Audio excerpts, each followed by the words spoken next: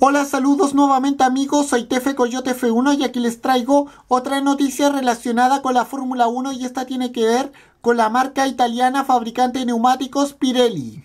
Bueno, como sabemos, eh, la marca milanesa fabricante de neumáticos Pirelli, que actualmente es la proveedora oficial de neumáticos de la Fórmula 1, ha confirmado la causa sobre el pinchazo que sufrió Fettel en el reciente Gran Premio de Silverstone porque según la misma marca milanesa, Fettel sufrió un pinchazo lento, aunque no, no, encuentran el germen del problema en el neumático de su compañero equipo, el finés Kimi Raikkonen, pero bueno, eh, esa fue la causa del pinchazo de Fettel en el reciente Gran Premio de Gran Bretaña y bueno, espero que para el próximo Gran Premio Hungría que se correrá el próximo domingo no pase lo mismo que ocurrió eh, en el Gran Premio anterior. Y bueno, con esto me despido. Nos vemos. Adiós. Cami fuera. Chao.